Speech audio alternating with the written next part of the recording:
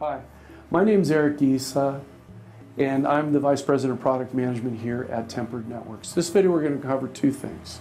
First, the five most common mistakes we see customers making with any microsegmentation initiative. Two, we're going to show you the power of identity-based microsegmentation, a new paradigm that is simpler, faster, and radically more secure than any other alternative on the market. So let's talk about those mistakes. First of all, VLANs do not equate to microsegmentation or segmentation at all. ACLs do not equate to microsegmentation. Three, customers often overlook the importance of cloaking, encryption, and universal connectivity when it comes to any microsegmentation initiative.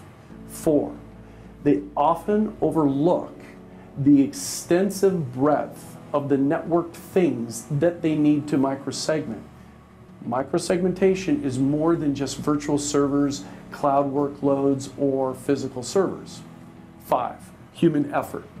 Customers often overlook the cost and time to implement, but especially maintain effective microsegmentation. Now we have a great guide on these five most common mistakes and how to avoid them. And we'll tell you how to get access to that. But let's go and start. I'm going to show you the power of identity-based microsegmentation and just how simple and radically secure this is. The beauty of our solution is it works over any IP network and all devices are cloaked, meaning they are undiscoverable from hackers. So even if they got on the same network segment as the SharePoint server or some HMI server or any critical asset, any attacker simply would be unable to see it. You can't hack what you can't see. And everything is auditable, meaning you can instantly satisfy IT compliance requirements.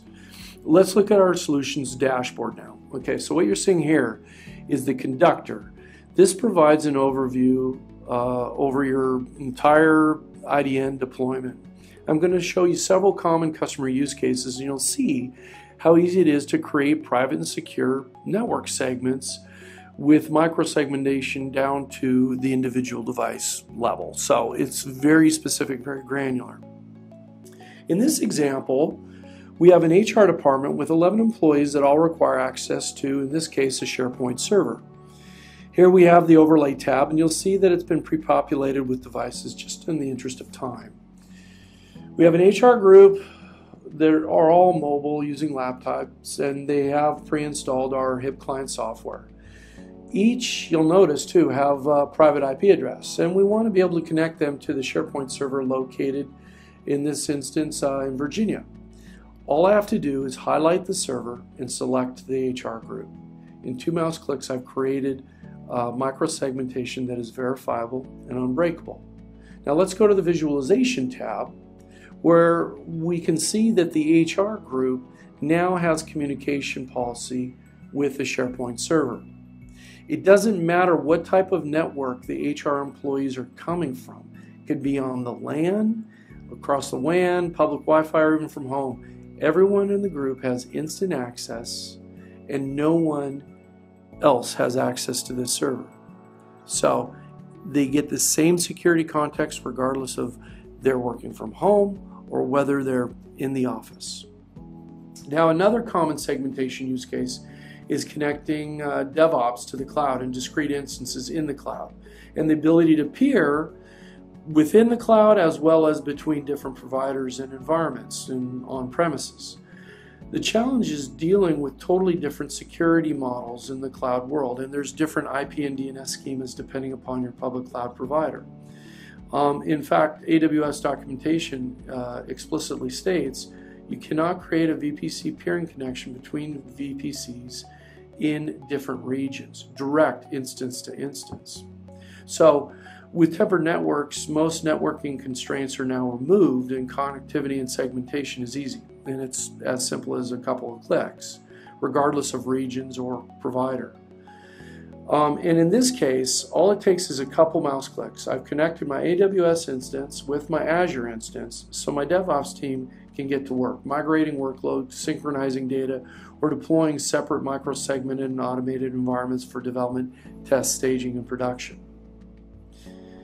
Now, the other segmentation use case I want to show is one that's very common in, in our world, and it's uh, how to manage and connect and protect and also collect information from, you know, industrial control systems, PLC, SCADA, uh, that are distributed all over the place. Typically, organizations need to give very discrete remote access to specific devices for servicing.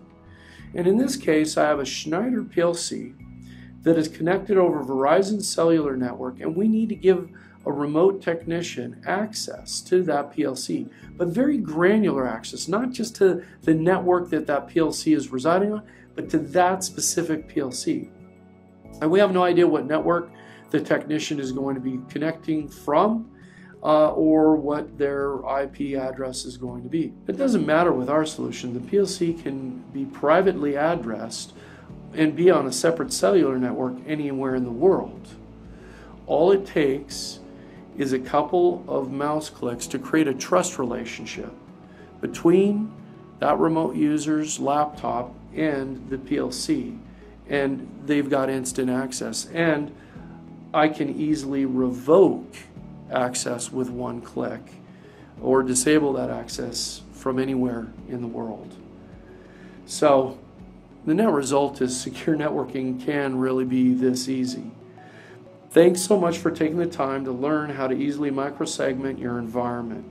And we know that this is the most powerful things to be able to cloak, encrypt, and microsegment access control to any device anywhere in the world without the typical uh, network barriers and security constraints uh, while improving your security posture makes it that much better.